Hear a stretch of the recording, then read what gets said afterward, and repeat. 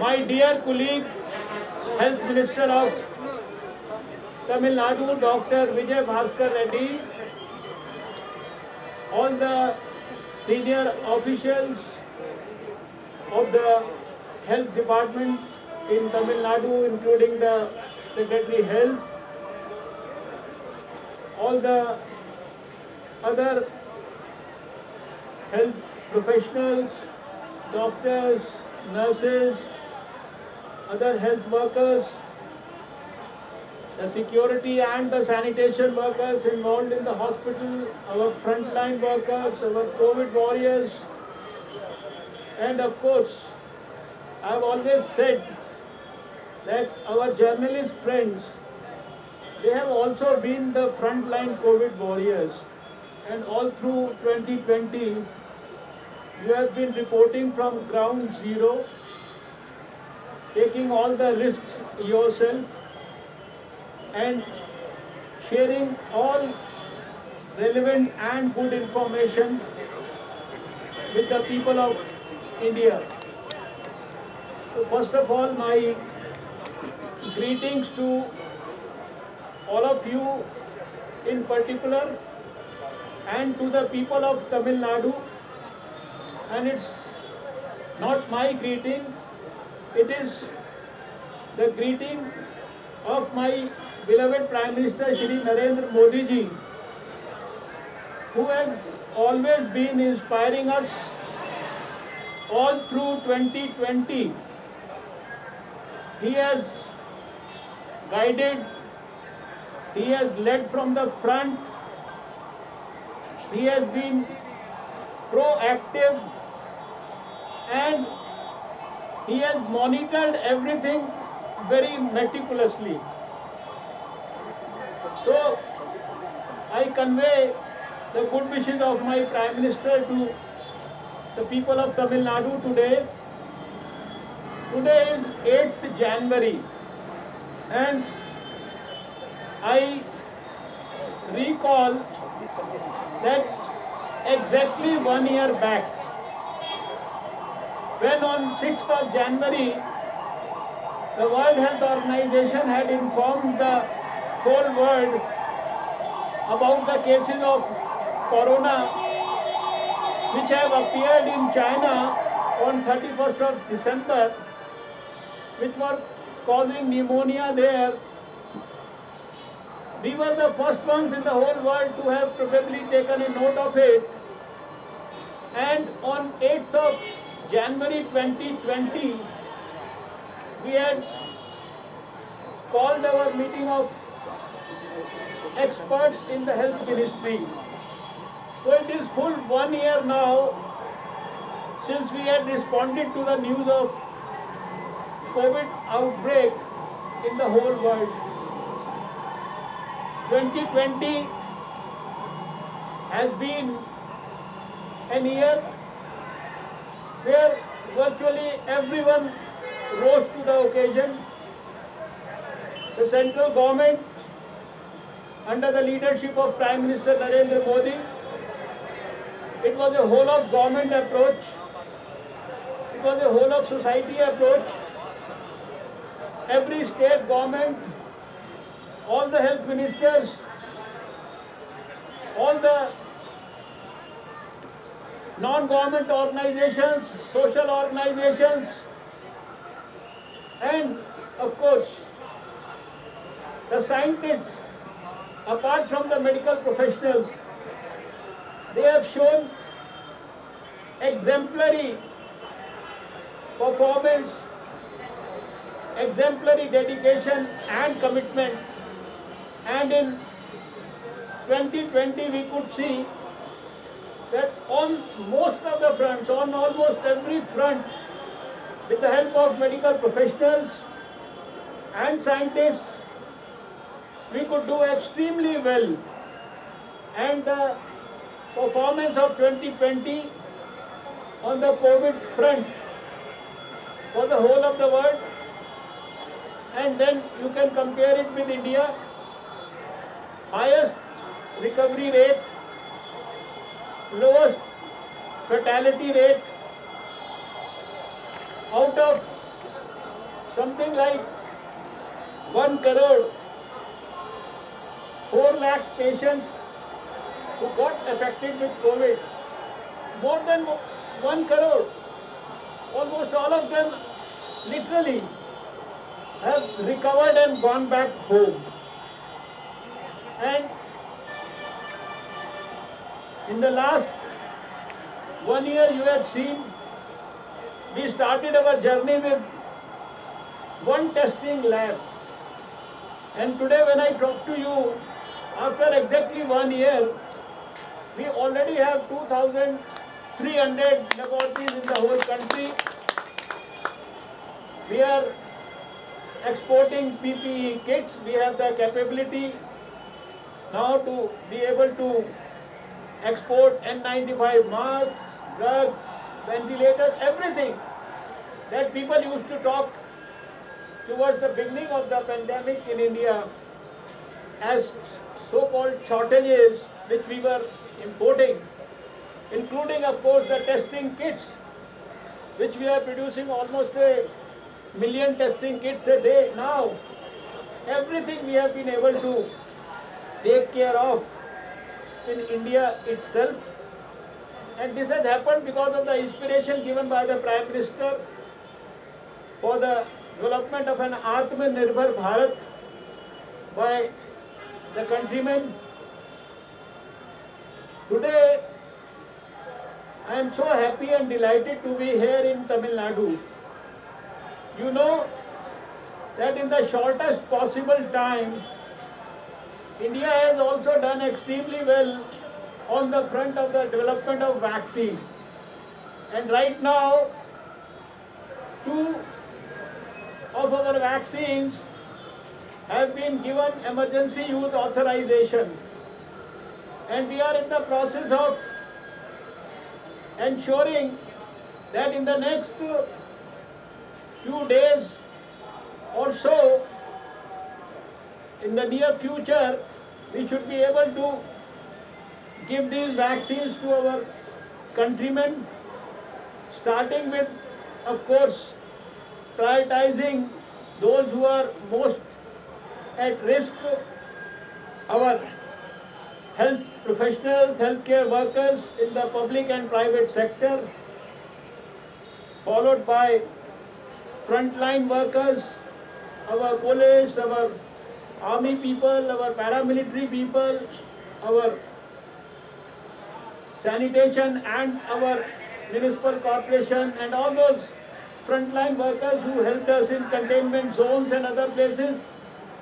And then of course, in the next stage we'll be taking up the people about 50 years of age and then of course less than 50 with comorbidities. You are already aware of the scheme of things that have been discussed with all of you earlier also to ensure that in a country as vast as India, with a population of 1.35 billion people, everything is done smoothly, meticulously,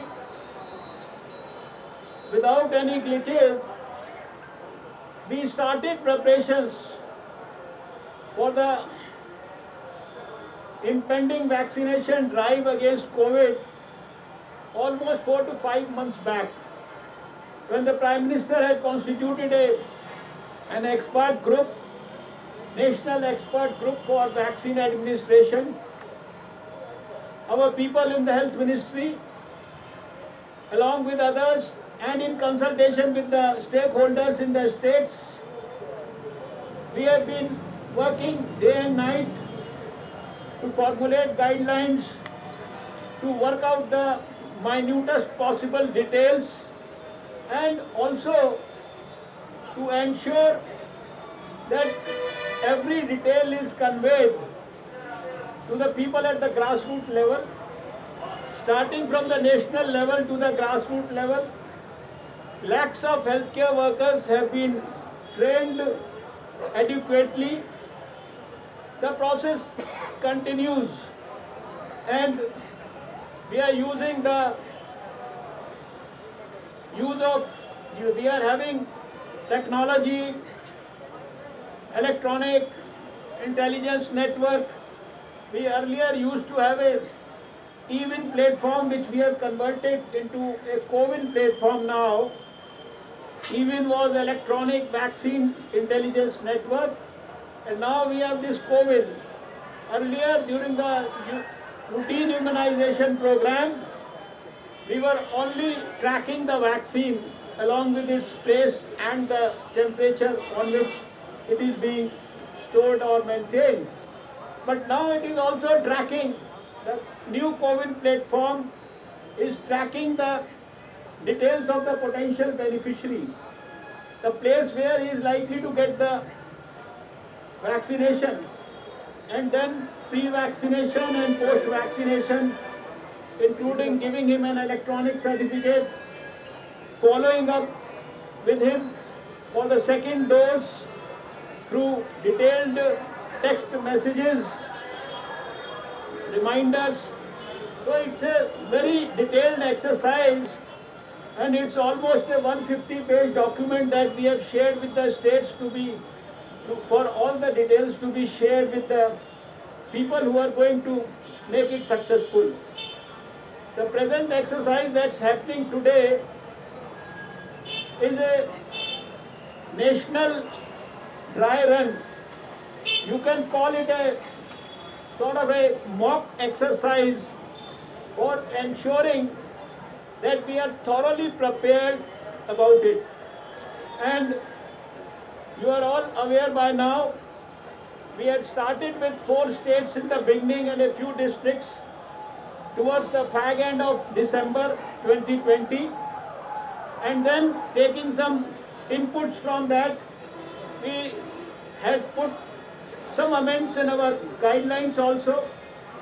Then on second, also we did this dry run in almost 125 districts of the whole country and then following upon that today it is happening all over the country except three states which have done it earlier. I was privileged to have visited and seen from close quarters the nitty-gritty of this in the capital of India on 2nd of January. And today I chose to be in the southernmost part of India, in one of the southern states, Tamil Nadu.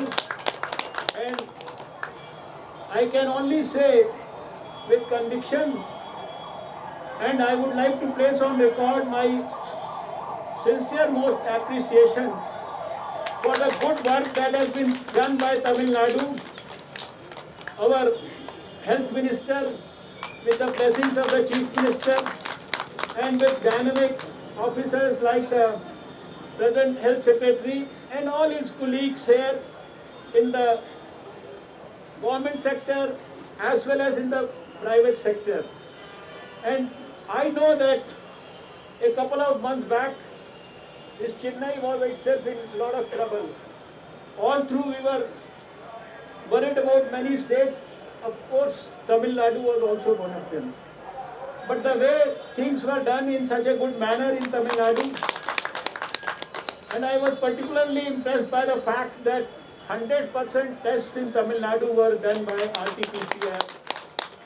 And uh, meticulous planning about testing, tracing, management, treatment, and while being treated in the hospital, so many good things have been happening which I had heard, but today I was fortunate to have a glimpse of many of those things.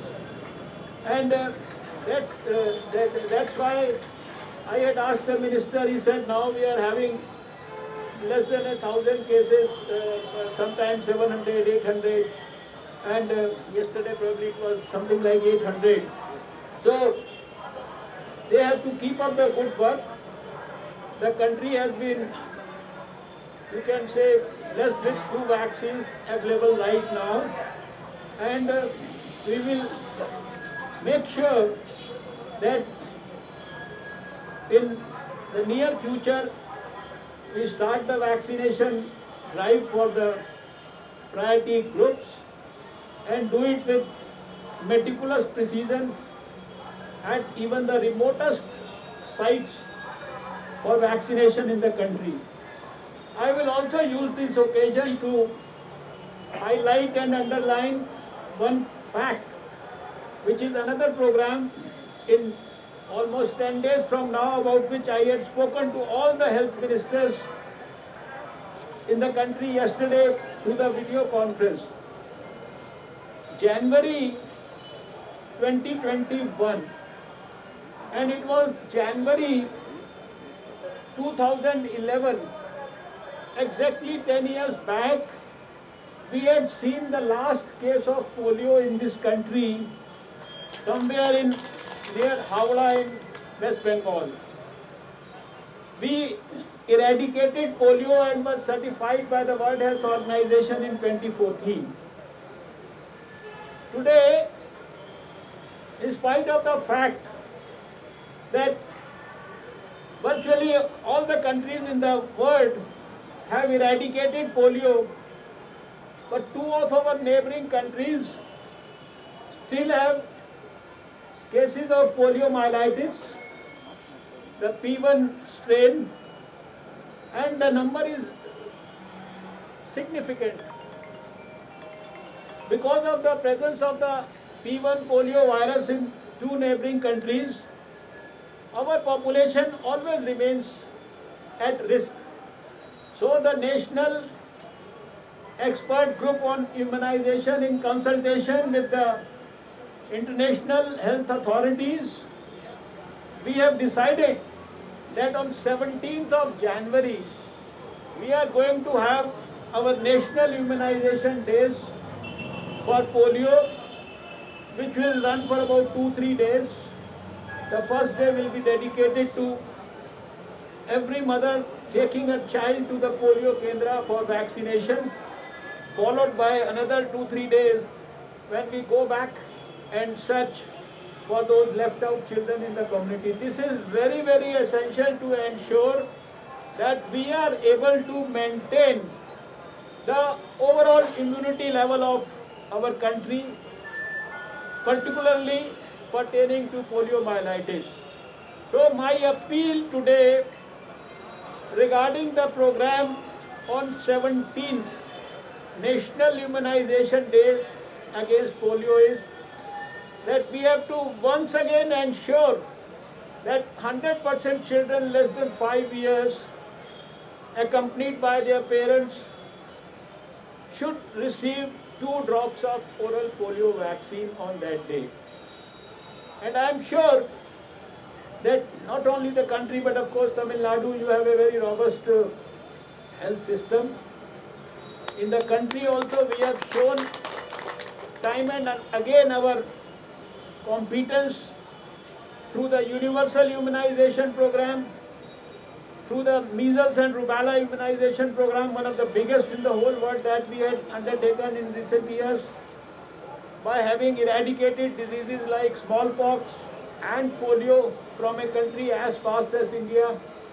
So we have the capability, we have the experience, we have the vision and we have the great leadership of a very dynamic Prime Minister Shri Narendra Modi ji. I am sure we are going to perform well on that front also. And regarding the COVID vaccination, which will start in the future, near future time, I would request the non-government organizations, NGOs, more particularly the ones working in the field of health, and of course our young workers involved with organizations like NCC, NSS, etc.